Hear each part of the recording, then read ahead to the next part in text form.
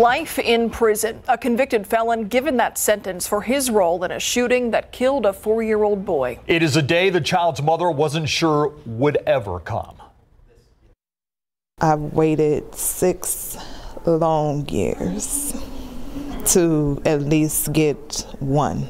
I mean, I know there's others, but to know that I have one down and two to go, I'm almost at the light.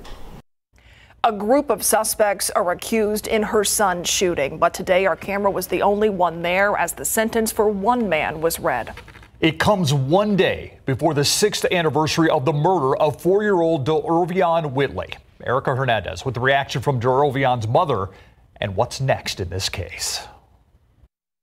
Based on the evidence that I have before me that was presented, uh, I sentence you to life imprisonment. No reaction from Terrell Chase as that life sentence was given for a felon in possession of a firearm charge. 437 District Court Judge Joel Perez was able to enhance punishment because Chase was a habitual offender. This case all a part of the deadly drive-by shooting that killed four-year-old De'Arvion Whitley on July 19, 2017. More than 60 shots were fired into the home Whitley was in with his brother and mother. You have the audacity to come in this courtroom with the little kid smirk, like everything is a joke.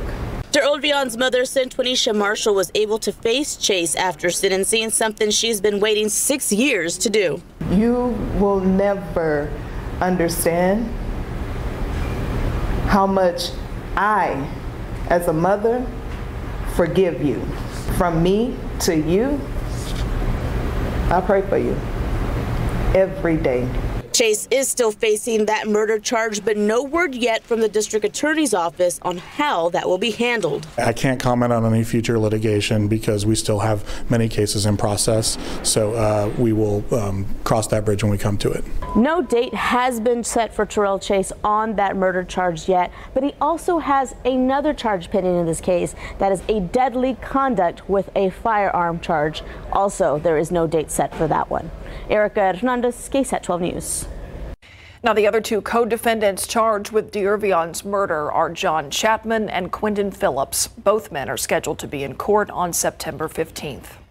Keep up to date with all of San Antonio's top news, weather, and so much more by clicking the like and subscribe buttons below. And once again, thanks for watching KSAT.